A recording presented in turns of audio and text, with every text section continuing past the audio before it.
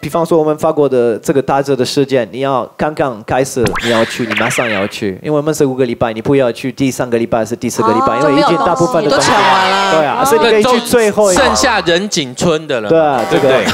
然后第二个是你们外国人，对我们来说，你你们来自外国人，你是从台湾来的，你们可以退税，嗯，对但是你要记得退税以后要在呃飞机场。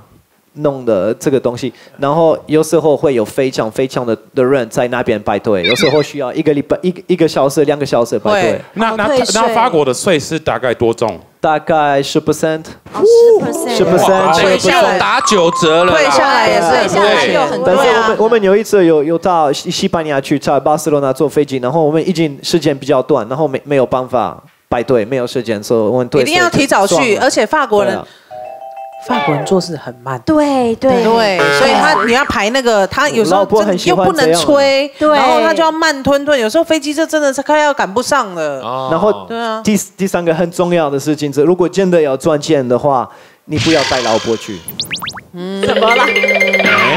特别是如果你老婆是从台湾来的，你不要不要带老婆去因，为剩的钱都在那里。因为钱马上就不见了。可是你错了，你如果在那里花掉，当你带回台湾，你就会发现你赚了好多钱。对呀、呀，我听过这样的，我知道。你都是这样跟你老公讲的，对然就是这种逻辑不对，你花钱对啊不是赚钱，就是赚钱。没有哎，我跟你讲算的啊讲到退税，还有一个小 paper，因为我们上次在法国退税的时候，怎么样？他很贼，因为他退税的呃那个币货币啊，只能给你美金。哦或是反正就是他一定会换给你汇率比较差的货币，哦，对。但是我后来发现，你如果刷信用卡，他退到你信用卡就是退台币。所以你千万就是，如果能够尽量，因为它好像现在欧元有一个规定，我忘了是说一千块或是两千块以内，它可以退现金，其他的你刷再多或是付现金再多，它都是退到信用卡。那其实你退信用卡是最方便的，因为第一现金好像只能退十趴，信用卡可以退到十五趴。然后你现，然后你退税的时候呢，他会退你那个货币，比如说我在欧洲退，我那时候就是退回来是美金，那时候美金比较差嘛，哦，所以就退信用卡，它退回来是台币这样。就带了三个东西了。第一个是这个兰芝的这个晚安唇膜，哎，那然后这个呢，你们在台湾的官网上面，官网上面的价格是台币七百块，所以呢，你们在外面卖的买的时候呢，可能会厂商会买个卖个可能五百块或四百块多少，我不知道，嗯每个人定定价都不一样。可是我说的这个价格是我现在要说的这个价格是在韩国能够买到最便宜的价格。我知道你们不管在哪个地方能够买比这个便宜的，就跟我说，我买给你。你现在讲的是韩国的官网，对韩国人，只有韩国人才能够买的这个网购的价格是台币两百五十块，两百五十块，你出来，你出来，是出来面对。对，真的能够能够比台币两百五十块找到更便宜的，就跟我讲，我就买给你，真哎的。，那你还不做网购？你真的是。我现在已经有在没有，就我就帮朋友，我就帮一些朋友，因为我东西要带来带去很多，其实很麻烦，所以我都是这样子。我要回韩国的时候呢，我大概就一两个礼拜之前在韩国已经会网购。可是韩国为什么一定要韩国人来呃买？是因为外国人的卡是没有办法在韩国刷的。是一定要韩国人透过韩国的银行办的卡、信用卡、金融卡才能购买韩国哦，东西。他有他有讲的规定官网就是啦这，样。他主要是讲的意思说，韩国人这一个网光这一个网站，只有针对韩国人。不韩国人管是怎么，就韩国有一个最大，例如谷歌嘛，就韩国有一个 Neighbor 的一个一个 shopping mall，就是一个一个一个官方网站这样子是可以 shopping 什么的。那你们要在那边买的话，其实只能用韩国人办的信用卡跟金融卡。所以我们也可以在韩国办信用卡，不是不行你为了这样在韩国办信用卡干什么？韩国人帮你买，对你要找韩国人对对，所以所以就是韩国人买的时候才会这样。那第二个这个东西，你们应该在台湾可能会看过，在官方网站哦，你们在 Google 打这个东西进去的官方网站的价格是两百四十块。哼，所以可能外面卖比较便宜，在台湾可能卖外面卖比较便宜。那韩国的网购里面最低价格是七十七点八一块，七十七点八一块。你们这样子找到比这个便宜的哦，就告诉我，我就你买给你。们这样子良心不会痛吗？啊，没有，所以所以因为为什么？因为韩国可以用吗？韩国为什么能够卖这么便？网络上为什么可以卖这么便宜？是因为有些人跟这个这家企业有一些合约，就可以直接拿它的原价，真正的原价，哦所以他们可以就是就拿一点点，就是多卖。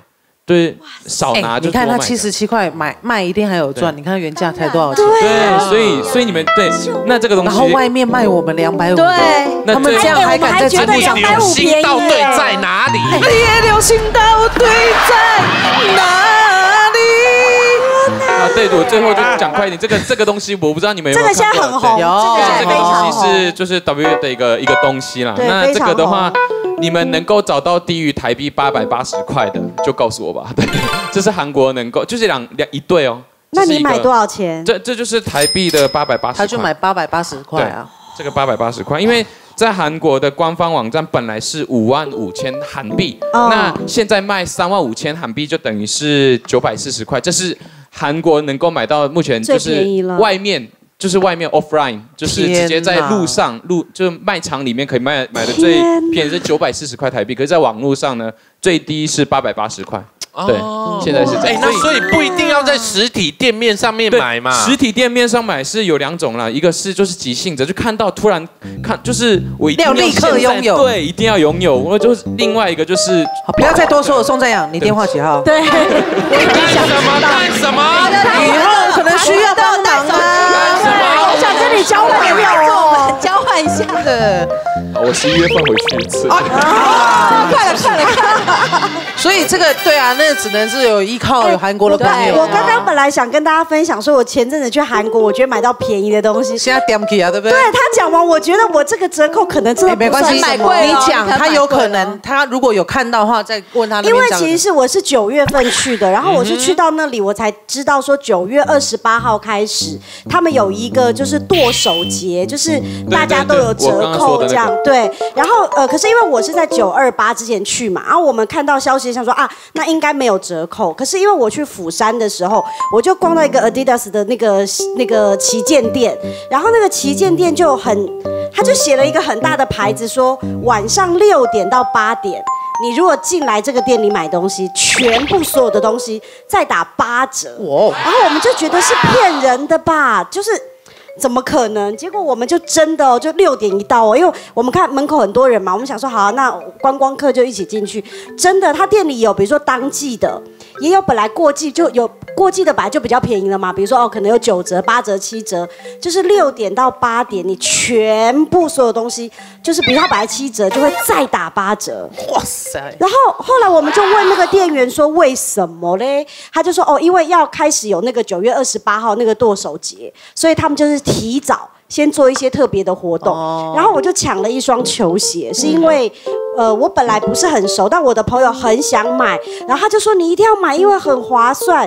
我这样买，我这双球鞋比台湾便宜大概一千一千七。可是你在网络上1700买块一定比那个便宜，我更你保。你为什么要这样伤害我懂他？你的意思了，他又去网络。我们就不能去网络没？你的意思是说，你的意思是说，如果我这双球鞋找你帮我买，在网络上会更便宜？，对，已经有很多人跟我这样，已经有很多周围有些人已经有这样。可是因为你知道有一个陷阱是什么，你知道吗？我在台湾的时候进去韩国的那个官方网站，会出现的都是英文。哦，所以等于是说，你你们知道，你们可能查到的，可能以为就是在韩国也能查到这样子的一个结果，可是不是在韩国的话，全部都是韩文，是什么意思？你知道吗？你们在这边查了韩国的一些网站，他们是让一些外国人进去这个网站的时候呢，给他给你们不一样的价格。哦韩国人只有韩国人能够看到的那个价格了，哇真的不一样，这样子讲好难好这。像我这一次去，我们后来从釜山去首尔，然后我就去逛那个新沙洞，就是有一个地方是这样嘛。然后我们居然看到一个呃设计师名设计师的牌子，就是卡尔拉格斐的牌子。然后我们那时候就觉得说怎么可能？后来我们查才发现，哎，对耶，韩国有进他的专门店。然后我们就想说，因为他的东西平常都非常贵，那我们想说啊，进去逛一逛好了，就是拍拍照也好开心。结果我们进到那个店里面，我的帽子、我的西装外套、我的鞋子全部五折。